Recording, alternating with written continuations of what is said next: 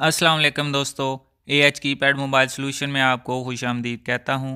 दोस्तों, आज की इस वीडियो में मैं आपको बताऊँगा कि क्यू मोबाइल क्लासिकल प्लस जो मोबाइल है, उसका फ़्लैश फ़ाइल एक तो आपको डिस्क्रिप्शन से मिल जाएगा और दूसरा उसको पासवर्ड अगर लगाओ तो किस तरह अनलॉक करेंगे। दोस्तों मेरिकल का क्रैक भी आपने डाउनलोड कर लेना है डिस्क्रिप्शन से ओपन करके एसपीडी में जाना है।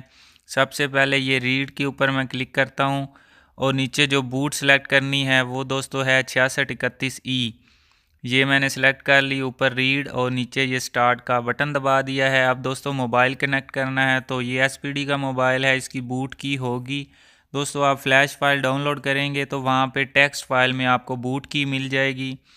तो ये आप देख सकते हैं, मैंने जैसे ही मोबाइल को कनेक्ट किया है तो ये फ़ाइल रीडिंग शुरू हो जाएगी। दोस्तों, ये फ़ाइल मैं यहाँ पे सेव कर लेता हूँ और एक बात आपको और बताता चलूँ कि अगर आपके यूएसबी ड्राइवर नहीं होंगे तो फिर आपका मोबाइल भी कनेक्ट नहीं होगा।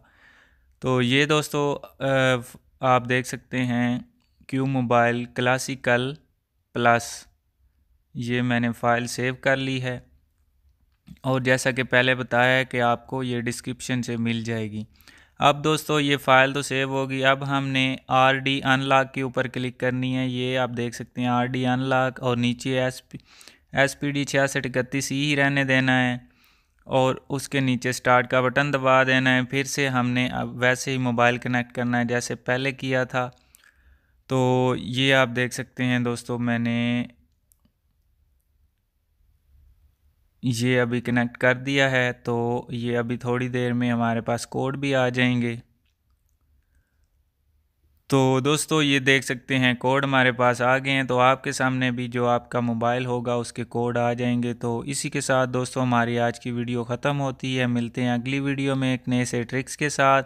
तब तक के लिए अल्लाह हाफिज़, अल्लाह निगेबान। पाकिस्तान, जिंदाबाद।